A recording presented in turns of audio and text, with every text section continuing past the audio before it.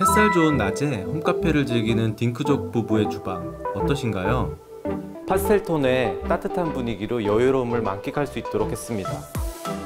채광이 좋은 곳에서의 홈브런치는 함께 여유를 즐기는 부부의 즐거움이 될 텐데요. 광파 오븐과 정수기 모두 화사하고 깔끔한 베이지 톤으로 선택해서 물건들로 어수선하게 보일 수 있는 가득 찬 느낌을 주지 않도록 정리했습니다.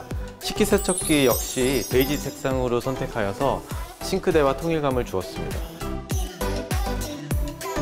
부피가 큰 냉장고는 빌트인으로 convertible 냉장고와 김치 냉장고를 나란히 두어 공간을 최적화하였고요. 튀지 않는 포인트 색상으로 무게 잡힌 편안함을 연출하였습니다. 홈카페라고 표현하기 아까울 정도로 멋진 카페로 변신한 주방입니다. 어느 집이나 제일 신경 쓰이는 건 아무래도 청소 관련 다용도 공간이죠. 그런데 이렇게 워시타워를 convertible 냉장고 옆 인테리어 소품처럼 놓으면 어떨까요? 벽면을 따라 쭉 놓인 오브제 컬렉션으로 디자인적인 요소도 살리면서 집안일을 한 공간에서 해결할 수 있습니다. 부지런히 움직이고 일하는 동선을 주방 안에서 다 끝낼 수 있다니 간단하죠?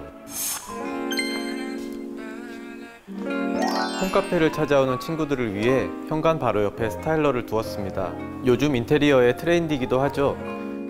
외출 시 가장 사용하기 편한 위치에 두어 동선 효율의 극대화를 꾀했습니다. 자, 이곳은 거실인데요. 소파를 두지 않았습니다.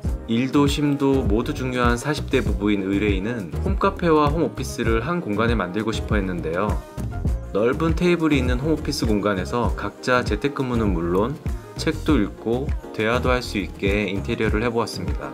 다가오는 여름에도 산뜻한 공간에서 집중할 수 있도록 화이트톤의 에어컨도 이 공간에 배치를 해보았고요. 이곳은 하루가 끝나면 다시 돌아오는 침실입니다. 침대, 공기청정기, 청소기 이렇게만 있어서 의아해하셨죠? 일부러 다른 가구나 가전들은 더 드리지 않았습니다. 어, 침실이라는 공간의 제일 중요한 목적과 의미는 바로 숙면이니까요. 이 공기청정기는 수면의 질을 높이는 데 꼭 필요해서 침실에 두었습니다. 수면 시간 외에 평소 일상생활을 하실 땐 이렇게 거실과 부엌 사이에 두는 걸 추천하겠습니다. 확장된 공간에서 공기청정기의 기능을 활용할 수 있어 매우 효율적입니다. 의뢰인은 홈카페와 홈오피스 둘 모두를 내 집에 두고 싶어 했는데요. 어, 그래서 주방은 홈카페로, 거실은 홈오피스로 모두 다 꾸며드렸습니다. 집이라는 건 나를 공간화해 놓은 것입니다. 가전을 배치하고 가구를 꾸미고 나면 그곳에서 살게 될 나라는 사람과 함께 닮았다는 것을 알게 되는데요. 부부가 중시하는 자유롭고 여유로운 라이프 스타일.